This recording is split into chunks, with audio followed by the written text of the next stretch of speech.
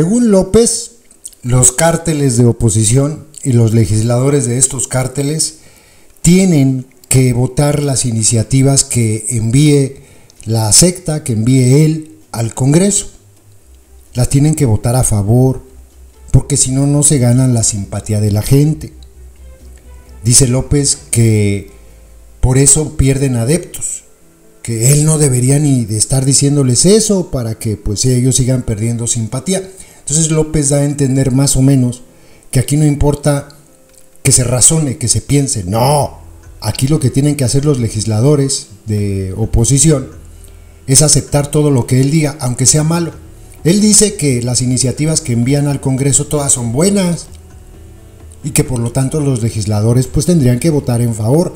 Yo me quedo pensando en la reforma al Poder Judicial que está promoviéndose estos días. Aparentemente es buena, pero los beneficios no superan a las afectaciones que va a tener. Entonces, si hay alguien en el Congreso de oposición que se dé cuenta de esto, pues tiene que dejarlo pasar porque al final lo que tiene que buscar, según lo que López da a entender, lo que tiene que buscar es la simpatía del pueblo. O sea, no importa que el pueblo no le entienda lo que va a pasar con la reforma judicial, no le entiende, la gran mayoría del adoctrinado vicariante común no le entiende, pero le simpatiza que la iniciativa venga de su amo, no sabe ni de qué va, pero como la envía su amo, entonces está bien, y por lo tanto los legisladores tienen que votar buscando esta simpatía. ¡Wow!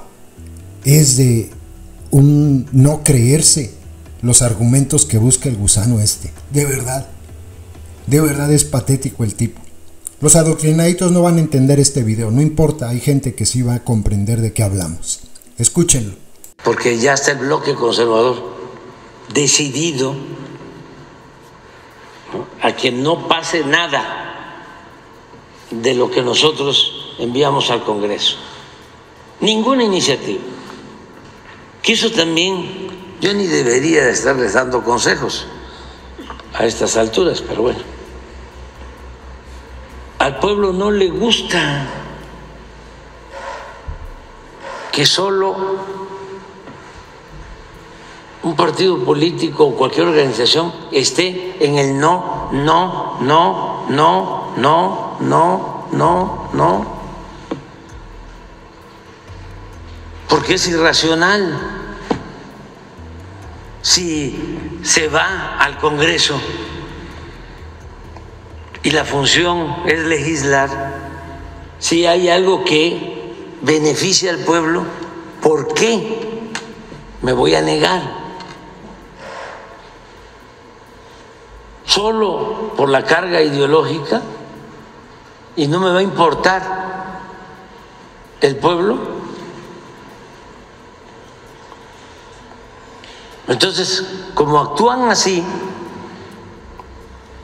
pues no se ganan la simpatía de la gente.